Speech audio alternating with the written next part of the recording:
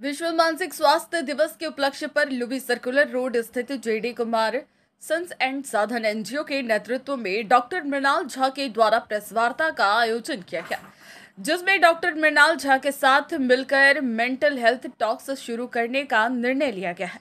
Doctor Mrinal Jha ने media को बताया कि धनबाद में लोगों को बीच मानसिक स्वास्थ्य को लेकर जागरूकता नहीं है, लोग stress, anxiety, depression, anger issues इत्यादि से परेशान रहते हैं, लेकिन किसी प्रोफेशनल से कंसल्ट नहीं कर पाते।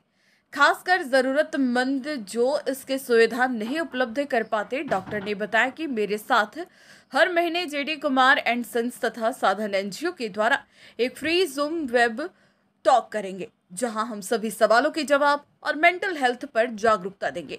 इसी के साथ दशहरा पूजा के बाद मेंटल हेल्थ कैंप लगाएँगे, जहाँ महिलाओं और बच्चों के मेंटल हेल्थ काउंसलिंग दी जाएगी। आज 10 अक्टूबर को वर्ल्ड मेंटल हेल्थ डे है। और डब्ल्यू द्वारा दिया गया जो इस साल 2023 का थीम है वो है mental health as a universal human right मतलब सबके लिए एक मानवाधिकार के रूप में हम मानसिक स्वास्थ्य को लाएँ। और इसके लिए जो जानकारी हमें बांटना है या जो कदम उठाने हैं वो सरकार द्वारा समाज द्वारा और हमारे निजी तौर पे भी हम उठाएँ। मानसिक स्वास्थ्य को एक मानवाधिकार बनाने के लिए दो तीन चीज़ें मेन हैं जो हमें करनी है। पहला है कि मानसिक स्वास्थ्य रिलेटेड जो सही साइंटिफिकली सही जानकारी है, वो हम लोगों तक पहुंचाएँ अवेयरनेस इसके बारे में बढ़ाएँ। क्योंकि एक तौर पे जो मेन कारण है, जिसके वजह से लोग समझ नहीं पाते कि वो किसी मानसिक रोग से ग्रस्त हैं या वो कहीं पे जाकर इसका उपचार कर सकते हैं, वो यही है कि मानसिक रोगों को लेके बहुत ही कम जानकारी है। दूसरा कि जो लोग मानसिक रोगों से ग्रस्त हैं, उनको इस तरह का उपचार मिले, इलाज मिले, जो कि वो आसानी से एक्सेस कर पाए, जो उनके आसपास अवेलेबल हो, एक ऐसे दर पे अवेलेबल हो कि सबके रीच में रहे और एक मिनिमम स्टैंडर्ड का हो, एक क्वालिटी हो उस उपचार का।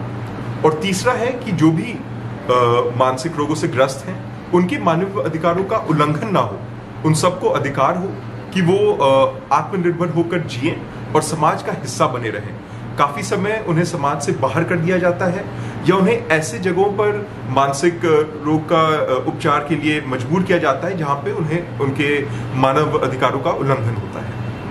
तो एक कदम हमने आज उठाया है G D Kumar and sons और साधन एनजीओ के द्वारा कि हम ये दो चीज़ों पे काम करें। पहला तो कुछ वेबिनार हम ऑर्गेनाइज कर रहे हैं जो मंथली बेसिस पे होंगे, जिसमें हम मानसिक रोग से जुड़े हुए सवालों का जवाब देंगे और इसके बारे में जो सही जानकारी है वो लोगों तक पहुंचाएँगे।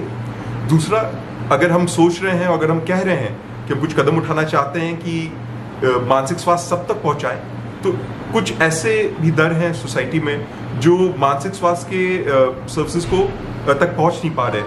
तो हम चाहते हैं कि ये सर्विस हम उनके दरवाजे तक लेके जाएँ। और इसके लिए जो धनबाद के कुछ पिछड़े हुए इलाके हैं, जो अंडर प्रिवलेज सेक्शंस हैं, वहाँ पे हम फ्री हेल्थ कैंप्स का ऑर्गेनाइजेशन करेंगे। बोल रही हूँ। जैसे डॉक्टर मृणाल अभी हेल्थ कैंप के बारे में बताया तो हमारा एनजीओ ये कैंप लगाएगा। और जहाँ तक साथ दे दे सकेंगे डॉक्टर मिन्नार, हम लोग आगे तक काम में बढ़े रहेंगे।